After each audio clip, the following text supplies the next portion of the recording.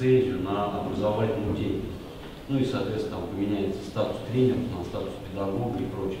Вот у нас на территории Балаковского муниципального района эта деятельность, она планируется по переходу э, под лицензионную э, образовательную? Или если планируется, то когда?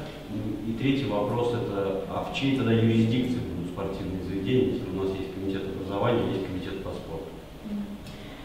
1 января 2023 года вступает в силу закон, который переводит да, учреждения спорта в систему дополнительного образования. Мы остаемся в ведомстве отдела по спорту, просто да, начинаем получать лицензию на образовательную деятельность, дополнительную образовательную деятельность, и тренеры становятся тренерами-педагогами.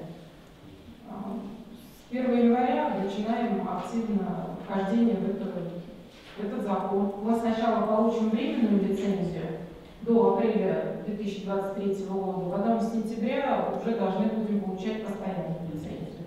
Ну да, придется лицензировать все учреждения спорта, привести их в соответствие с лицензионным требованиям по дополнительному образованию. Тренеры станут тренерами-педагогами, ответственность увеличится, ну и преимущества определенные тоже